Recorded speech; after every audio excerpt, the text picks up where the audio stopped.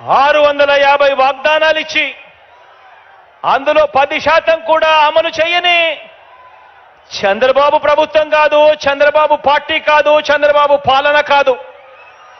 ఇది ఏకంగా తొంభై తొమ్మిది శాతం వాగ్దానాలు అమలు చేసి మరి అమలు చేసి మరి ప్రతి ఇంటికి వెళ్ళి మేనిఫెస్టో చూపించి ఆ అక్క చెల్లెమ్మల ఆశీస్సులు కోరుతా ఉన్న మన వైఎస్ఆర్సిపి పార్టీ. అటు టీడీపీ ఇటు వైఎస్ఆర్సిపి అటు పెత్తందారులు ఇటు పేదవాడు. అడుగుతా ఉన్న పేదవాడి భవిష్యత్ కొరకు యుద్ధానికి మీరంతా కూడా సిద్ధమేనా అడుగుతా ఉన్నాను.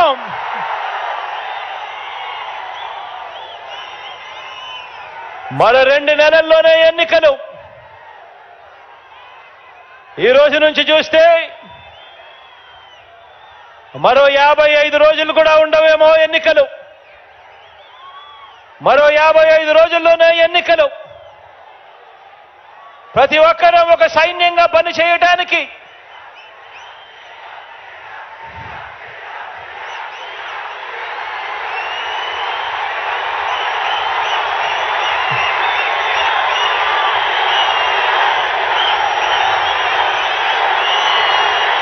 మరో రెండు నెలల్లో మరో యాభై ఐదు రోజుల్లో జరగబోయే కురుక్షేత్రానికి ఒక సైన్యంగా పనిచేయడానికి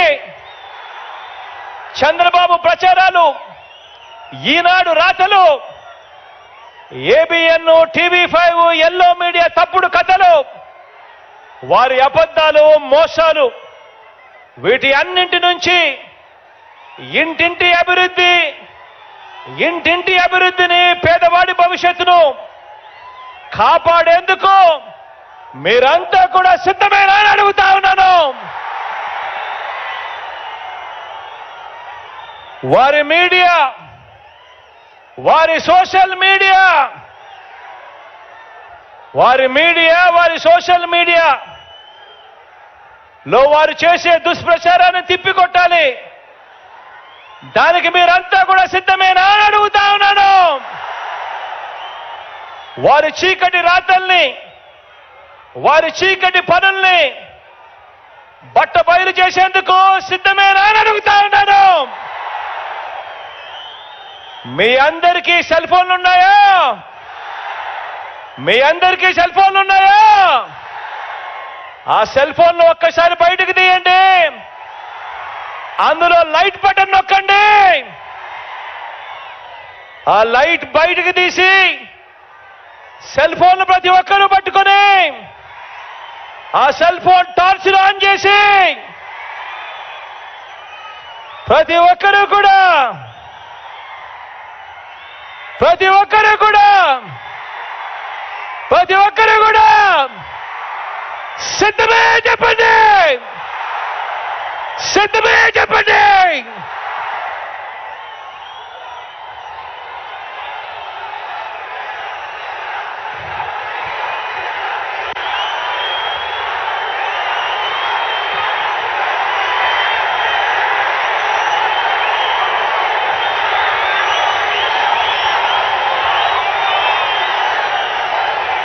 ప్రతి కార్యకర్త కూడా ప్రతి కార్యకర్త బూత్ కమిటీ సభ్యులుగా గృహసారథులుగా వాలంటీర్లుగా మీ పాత్రే అత్యంత కీలకం. సమర బేరి మోగిద్దాం సమర నాదం వినిపిద్దాం. మరో గొప్ప చారిత్రాత్మక విజయానికి మరో అడుగు వేయడానికి అందరం కూడా సిద్ధాలని అడుగుతా ఉన్నాను. ఈరోజు నేను మీ అందరితో కూడా ఒకటే చెప్తా ఉన్నాను. ఈ జరగబోయే ఎన్నికలు అత్యంత కీలకమైన ఎన్నికలు. ఈ ఎన్నికలు అయిపోయిన తర్వాత చంద్రబాబు నాయుడు గారు వయసు ఇప్పటికే డెబ్బై ఐదు. ఈ ఎన్నికలు అయిపోయిన తర్వాత చంద్రబాబు నాయుడు గారి వయసు ఎనభైకి పోతుంది. ఈ ఎన్నికలు అయిపోయిన తర్వాత ఇక తెలుగుదేశం పార్టీ రూపురేఖలు కూడా ఎక్కడ కనిపించవు. ఈ ఎన్నికలు అందుకనే చాలా కీలకం. ఈ ఎన్నికల్లో అందుకే వాళ్ళంతా కూడా పెత్తందారులంతా కూడా ఏకమవుతా ఉన్నారు. అందుకే వాళ్ళంతా కూడా తోడేళ్ళుగా అందరూ కూడా ఏకమవుతా ఉన్నారు. మనం యుద్ధం చేస్తా ఉన్నది ఒక చంద్రబాబు నాయుడు గారు ఒక్కరితో మాత్రమే కాదు. ఒక ఈనాడుతో యుద్ధం చేస్తా ఉన్నాం. ఒక ఆంధ్రజ్యోతితో యుద్ధం చేస్తా ఉన్నాం. ఒక టీవీ ఫైవ్తో యుద్ధం చేస్తా ఉన్నాం. వీరందరికీ తోడు ఒక దత్తపుత్రుడితో కూడా యుద్ధం చేస్తా ఉన్నాం. ఇంతమంది తోడేళ్ళు ఏకమవుతా ఉన్నారు. ఈ చంద్రబాబు నాయుడు గారు ఇంతమంది తోడేళ్ళు సరిపోరు అని జాతీయ పార్టీలు కూడా పరోక్షంగా ఒకరితోనూ ప్రత్యక్షంగానూ మరొకరితోనూ కూడా వెంపర్లాడుతా ఉన్నాడు. వారిని కూడా పొత్తులోకి తెచ్చుకునేందుకు. ఇంతమందితో చంద్రబాబు నాయుడు గారు కేవలం ఒకే ఒక్కడి మీద యుద్ధం చేయడానికి ఇంతమంది తోడేళ్ళందరూ కూడా ఏకమవుతా ఉన్నారు. ఆలోచన చేయమని అడుగుతా ఉన్నాను. అందుకే ఈ ఎన్నికలు చాలా కీలకం. ఈ తోడేళ్ళన్నిటినీ కూడా ఎదుర్కోవాలి అనంటే మీ జగన్ ఒక్కడే ఒక్కడికి సాధ్యం కాదు. మీ జగన్కు మీ ప్రతి గుండె తోడుగా నిలబడాలి. మీ జగన్కు ప్రతి ఇంట్లో ఉన్న ప్రతి అక్క చెల్లెమ్మ ప్రతి ఇంట్లో ఉన్న ప్రతి అవ్వ తాత ప్రతి ఇంట్లో ఉన్న ప్రతి తల్లి తండ్రి ప్రతి ఇంట్లో ఉన్న ప్రతి రైతన్న కూడా మీ జగన్కు తోడుగా స్టార్ క్యాంపెయినర్గా బయటికి రావాల్సిన అవసరం ఎంతైనా ఉంది. ఈరోజు నేను చెప్తా ఉన్నాను ఈ ఎన్నికలు ఆషామాషి ఎన్నికలు కాదు. ఈ ఎన్నికల్లో మనం వేసే ఓటు రేపొద్దున పేదవాడి భవిష్యత్తును రేపొద్దున పేదవాడి జీవితాన్ని నిర్ణయించే ఓటవుతుంది ఇది అని చెప్పి ఈ సందర్భంగా ఖచ్చితంగా ప్రతి ఒక్కరికి తెలియజేస్తా ఉన్నాను.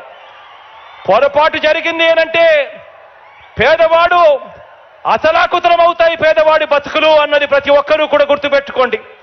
పేదవాడు బాగుపడాలంటే కూడా బాగుపడాలంటే పేదవాడి భవిష్యత్ మారాలి అనంటే ఆ పేదవాడి పిల్లాడు రేపొద్దున పది సంవత్సరాలకో పదహైదు సంవత్సరాలకో అనర్గలంగా ఇంగ్లీష్ మాట్లాడుతూ పెత్తందారుల పిల్లలతో పోటీ పడుతూ ప్రపంచంలో ఉన్న పెద్ద కంపెనీలలో ఉద్యోగాలు సంపాదించుకోవాలి అంటే ఈ జరగబోయే ఎన్నికలు అత్యంత కీలకమన్నది ప్రతి ఒక్కరూ కూడా గుర్తుపెట్టుకోండి. ఆ పేదవాడందరూ కూడా ఏకం కావాలి. పేదవాడు ప్రతి గుండె ఏకం కావాలి. ప్రతి పేదవాడు ఏకమై ఈ పెత్తందారుల పార్టీలను పూర్తిగా కూడా నాశనం చేసే పరిస్థితిలోకి రావాలి. అందుకే ఈ ఎన్నికలు అత్యంత కీలకమైన ఎన్నికలు అని చెప్పి ఇక్కడ ఉన్న ప్రతి ఒక్కరికి కూడా ప్రతి కార్యకర్తకు ప్రతి అభిమానికి ప్రతి నాయకుడికి ప్రతి వాలంటీర్కి ప్రతి ఇంటికి వెళ్ళాల్సిన బాధ్యతలు మరొక్కసారి గుర్తు చేస్తూ దేవుడు దయా ప్రజలందరి చల్లని దీవెన్లు. మంచి చేస్తున్న మనందరి ప్రభుత్వానికి కలకాలం ఉండాలని మరో అవకాశం మనందరి ప్రభుత్వానికి నిండు మనసుతో దేవుడు ఆశీర్వదించి ఇవ్వాలని కోరుకుంటూ సెలవు తీసుకుంటా ఉన్నాను.